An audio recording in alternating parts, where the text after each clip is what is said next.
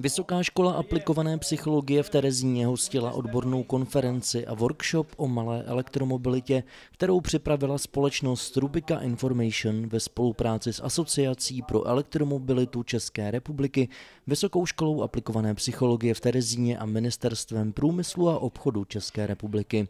Konference byla určena pro všechny, kteří se o elektromobil zajímají vlastního či teprve přemýšlí nad tím, že se ho možná pořídí. Jedná se úplně o první konferenci ohledně eh, malé elektromobility, která se zaměřuje hlavně na praktickou část. Nemáme jenom teoretické informace jako na jiných konferencích, které jste mohli během roku navštívit a jich teď, teď je jich hojný počet, ale zaměřujeme se právě na reální informace, reální data a reální zkušenosti našich odborníků, kteří jezdí elektromobilem například i 30 let. Elektromobily jsou v dnešní době pro většinu lidí ještě cenově značně nedostupné. To by se ovšem mělo velmi brzy změnit.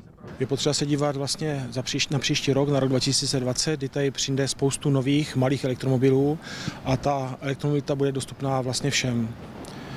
Jo, berte to tak, že jestli máte rodinný dům, máte tam fotovoltaiku, máte tam bateriové úložiště, máte elektromobil, tak je to pro vás levnější, než jezdit normálním dýzlem nebo benzinem. Cílem je tu elektromobilitu dostat na normální města.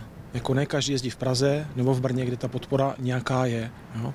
Ale já myslím, že právě ta elektromobilita má význam tam, že člověk ráno sedne do auta, který má nabitý, jede do práce, tam mu nabídne vlastně zaměstnavatel nabití a ne, vůbec neřeší nějaký dobíjení další. Jo? Nepotřebuje rychlo nabíječky. Protože dneska to vychází tak, že ty elektromobily, které mají víc než 40 kW energii, a to budou prakticky všechny, no, víc než 30, dneska kdo, kdo najede 200 km denně, aby to potřeboval 300 km denně? Pár obchodáků a většina lidí má průměr nějakých 50 km denně. A to dneska to stačí ty nejmenší elektromobily. Přestože to na první pohled nemusí být patrné, elektromobilita a aplikovaná psychologie mohou jít v mnoha směrech ruku v ruce. Souvislost konání konference právě na akademické půdě Terezínské školy vychází už jen z faktu, že se na jejím konání podíleli absolventi či studenti VŠAPS. Jde to velice dobře dohromady. Tady i zazněl hezký referát, že je to vlastně změna životního stylu, změna myšlení, že změna životního stylu. Víc klidu v těch elektromobilech, ticho.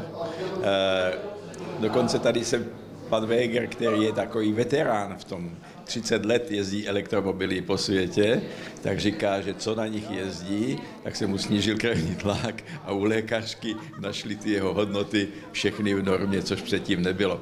E, takže to je i somatopsychické, co tělo, co psychika a to znamená celý člověk, jak se cítí, když se začne eh, věnovat elektromobilitě nebo si koupí elektromobil a stará se o něj.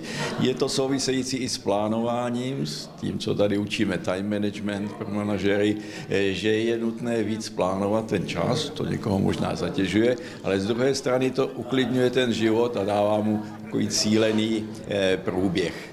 Návštěvníci konference a workshopů o elektromobilitě byli s průběhem velmi spokojení. Působí to na mě velice, protože poněvadž to elektromobil to už je potřeba něco dělat, poněvadž to je prostě úžasná věc, v naší republice je to potřeba, poněvadž zatím se nic takového neděje, protože se to jako, to dodává do ústraní, jak se říká, že jo. Chápu, jakých důvodů samozřejmě, že jo.